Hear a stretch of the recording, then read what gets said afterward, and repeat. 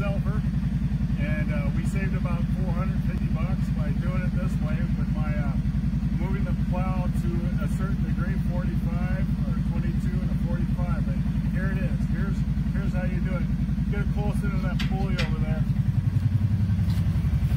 All right, see that action?